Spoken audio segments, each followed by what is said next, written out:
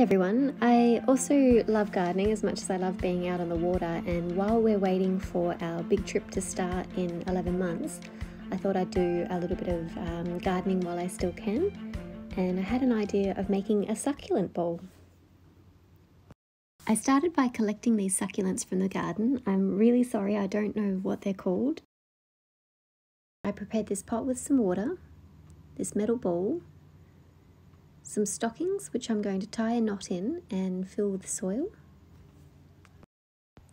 If you can't find a metal ball like this one, I'm thinking that you'll have to get creative. Uh, anything that's circular or even square that you can drill holes into and um, put a stocking full of uh, soil, I think would work.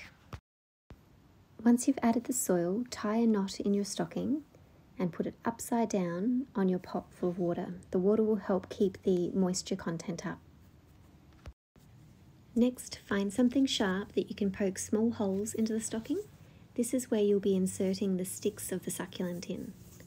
I removed a lot of the lower leaves so that I could um, put the sticks as far in as possible.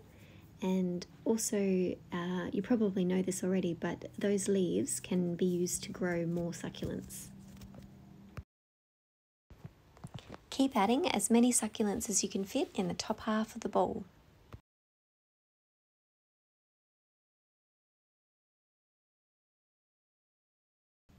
Once you've put as many as you can fit, put it somewhere safe and let it grow.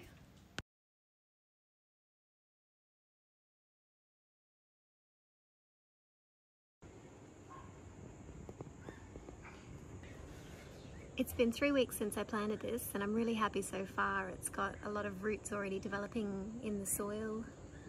And so what I'm going to do is I'm going to go away in two weeks for three weeks. So that'll be another five weeks and then I'll be ready to turn it around. Okay, so it's been um, quite a few weeks. We just got back from holidays, so we were away for three weeks and there is a lot of roots going on so I feel quite secure um, that I'm going to be able to pick this ball up. But what I found is a cord where I can attach it to somewhere and then attach it to the ball on the other side because obviously when I pick this ball up and turn it upside down I'm not going to be able to put it on anything. So I'm going to find somewhere to hang it and then we will plant the top of it. Okay here it is a half ball I'm going to just give it a water so that it softens up the soil and then I'm going to fill it full and um, see how we go. As you can see, there's still a few spots and things that are a bit bare, but um, what I'm assuming I'm going to have to do is keep watering it, let it grow, and then um, keep filling in spots. And then after a couple of weeks or months, it should be quite a feature.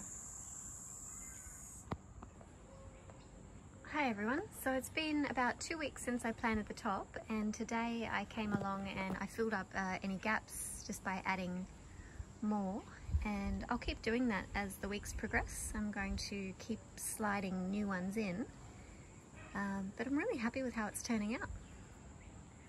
On my Instagram I will post a photo uh, probably in about a year just to show what it looks like. Um, you can follow me there. I'm off underscore grid underscore artist.